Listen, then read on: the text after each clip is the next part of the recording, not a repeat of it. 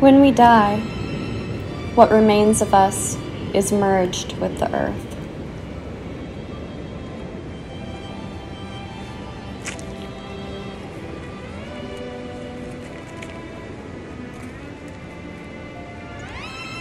When someone we love dies, a piece of us dies with them.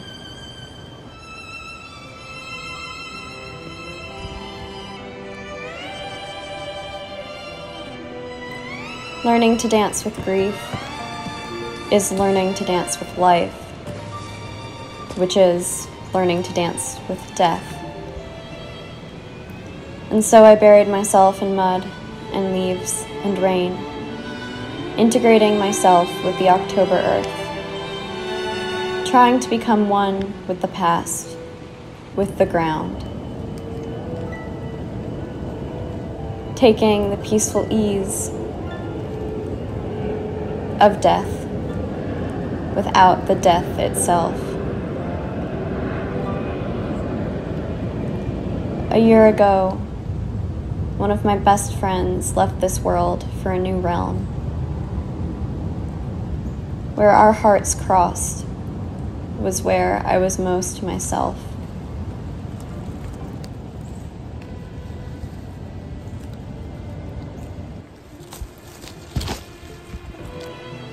I lost her, but I also lost myself in losing her. The last year has been a surreal dream. Evolutionary psychologists say humans are more resilient than we know. There were days where I was consumed by darkness, buried in the landslide of grief, not sure that I would make it to 24. The day before my 23rd birthday, I found out my friend had died. I spent the next day unable to leave my bed, wishing I was with her. This year, I'm throwing myself a party. We must celebrate life, as impossible and painful as it can be. We must live for the people we love. We must hold them close.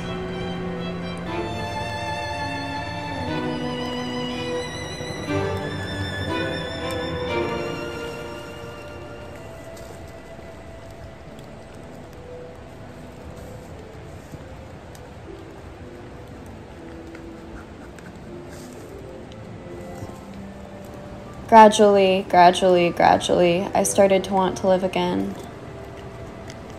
To wash the heavy, heavy grief from my being. To feel the breeze, the October waves. Some days my rain boots fill with water. Some days I trip and my knees hold a rainbow of bruises.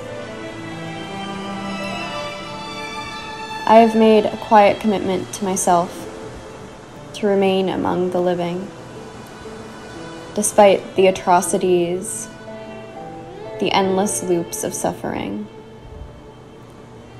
Siddhartha founded Buddhism with the foundation of a broken heart and a broken faith. I catch micro glimpses of an egoless plane in meditation the word nirvana means to extinguish.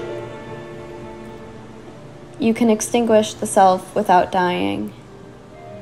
You can live between a self obsession and a negation of the self as a corporeal entity.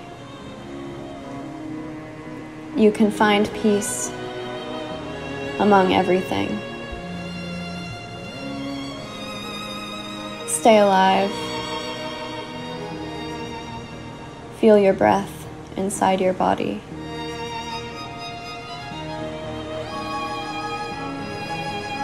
You are loved.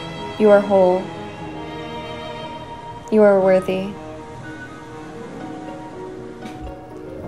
Make a quiet commitment to yourself to remain among the living.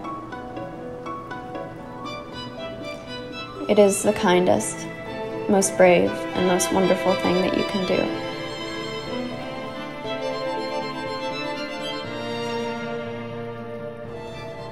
Sending love to you all.